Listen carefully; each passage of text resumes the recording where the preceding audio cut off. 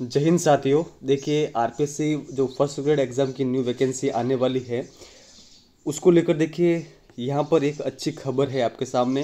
देखिए, आप सभी को पता है कि चार हज़ार चार सौ पदों की जो स्वीकृति सरकार के द्वारा भेजी गई थी, उतने सीटें तो फिक्स आएगी फ़र्स्ट ग्रेड के अंतर्गत।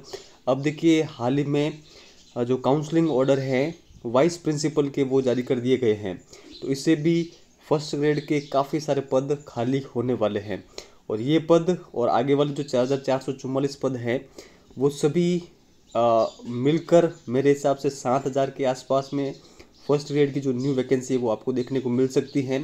इसके अलावा जो आ, पहले की जो जितने भी माध्यमिक स्कूल हैं जिनको बाद में उच्च माध्यमिक में कन्वर्ट किया गया है अगर उनमें नई सीटों को सृजित किया जाता है तो फ़र्स्ट ग्रेड की वैकेंसी दस हज़ार प्लस भी आ सकती हैं।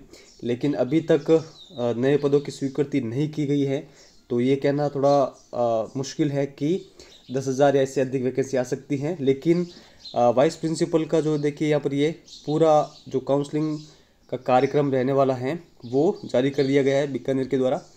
बीकानेर निदेशालय के द्वारा। तो निश्चित ही फ़र्स्ट ग्रेड के पद खाली होंगे जितने भी पद खाली होंगे उनकी आ, जो कार्य विभाग को सूचना भेजी जाएगी। उसके बाद में आरपीएससी के पास में इसकी सूचना आएगी और न्यू वैकेंसी आपके जारी होगी। तो इसके अंतर्गत कम से कम दो तीन महीने का समय लग सकता है। तो निश्चित ही मेरे हिसाब से अक्टूबर तक आपकी जो वैकेंसी है वो आनी चाहिए। लेकिन अगर एक दो महीने आगे पीछे भी रहता है तो भी कोई बात नहीं। लेकिन जब तक वैकेंसी ना आए, अपनी तैयारी इतनी अच्छी कर लीजिए कि आपका सिलेक्शन सुनिश्चित होना चाहिए। क्योंकि देखिए प्रत्येक वैकेंसी के अंतर्गत तीन तीन साल लग जाते हैं। अगर एक वैकेंसी में सिलेक्शन नहीं होता है तो फिर बाद में काफ़ी अधिक मुश्किल हो जाता है। तो जब तक वैकेंसी नहीं आए, आपको उससे पहले पूर्णतः तैयार हो जाना है। तो अपनी तैयारी को एक मज़बूत धार दीजिए और अपने लक्ष्य को पाने के लिए आप हर प्रयास करिए ताकि आप सफल हो सके, आप अपना और अपने परिवार का नाम रोशन कर सके और अपनी, जो परिस्थितियाँ हैं, उनको चेंज कर सके। तो यही देखिए, छोटा सा एक अपडेट था। वाइस प्रिंसिपल के जो नए पद सृजित किए जा रहे हैं तो उनकी इससे फ़र्स्ट ग्रेड के पद निश्चित रूप से खाली होंगे, जो कि आपको न्यू वैकेंसी में इनके जो पद हैं, वो देखने को मिलेंगे। चार हज़ार चार सौ से तो अधिक ही पद आने चाहिए फ़र्स्ट ग्रेड की वैकेंसी के अंतर्गत। तो ये एक अच्छी न्यूज़ है। तो आप अपनी तैयारी को अच्छे से धार दीजिएगा और एक ही चीज़ आपसे कहूँगा कि आप लगे रहो ईमानदारी से। अगर आप ईमानदारी से लगे रहे तो निश्चित रूप से आप सफल हो जाएँगे। मैं भी देखिए मुझे भी काफ़ी लोग डिस्टर्ब करते थे जब मैं तैयारी करता था। इसके अलावा काफ़ी लोग कहते थे कि अभी तक तुम्हारी नौकरी नहीं लगी है। ये मतलब काफ़ी सारे लोग मतलब जो भी कुछ भी कहते हैं लेकिन मैंने किसी की नहीं सुनी। हमेशा ईमानदारी से अपनी तैयारी की। यूट्यूब पर भी मैंने काफ़ी सारे आपके लिए वीडियो डाले। उनके आ, उस टाइम के अलावा भी मैंने काफ़ी अधिक समय का यूटिलाइज़ करके अपनी स्टडी की।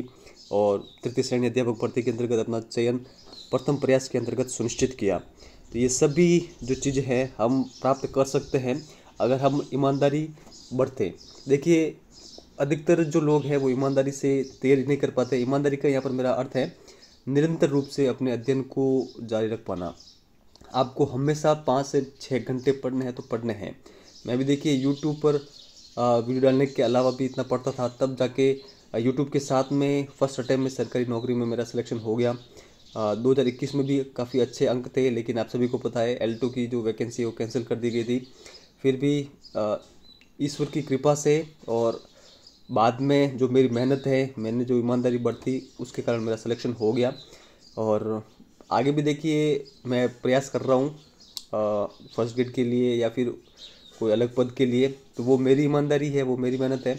आप भी इसी तरह मेहनत करते रहिए, निश्चित रूप से आप सफल होंगे। लेकिन एक ही चीज़ कहूँगा, निरंतर रूप से अपनी जो अध्ययन है, उसको जारी रखें और लक्ष्य बना के चले कि इस बार मुझे फ़र्स्ट ग्रेड में अपना सिलेक्शन लेना है तो लेना है।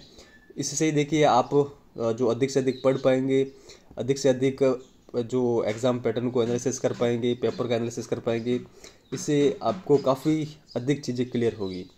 और ये सारी चीज़ें देखिए काफ़ी अधिक इम्पोर्टेंट होती हैं किसी भी एग्ज़ाम को क्रैक करने के लिए। तो आप जितना अधिक पढ़ेंगे, आप उतना ही अधिक उन चीज़ों को स्मरण कर पाएँगे, याद कर पाएँगे, और ये जो जितनी चीज़ें हैं, वो आपके एग्ज़ाम में आपका साथ देगी। जितना कम आपका रिवीजन होगा, जितने कम बार आप पढ़ेंगे तो फिर एग्ज़ाम में कन्फ्यूज़न की स्थिति रहेगी, जो कि काफ़ी ख़राब स्थिति होती है, क्योंकि वापस वही चीज़ है। अगर एक वैकेंसी से के अंतर्गत अगर हमारा सिलेक्शन नहीं होता है तो बाद में वापस दो से तीन साल का समय गया उस वैकेंसी को पूरा होने के अंतर्गत और पोस्टिंग वापस लगाने तक। ठीक है? तो ऐसा नहीं होना चाहिए। आप अच्छे से अपनी तैयारी को निरंतर रूप से जारी रखिए, निश्चित रूप से आप सफल होंगे। और मुझसे किसी भी प्रकार की आपको अगर हेल्प चाहिए तो आप बता सकते हैं कमेंट सेक्शन के अंतर्गत। धन्यवाद।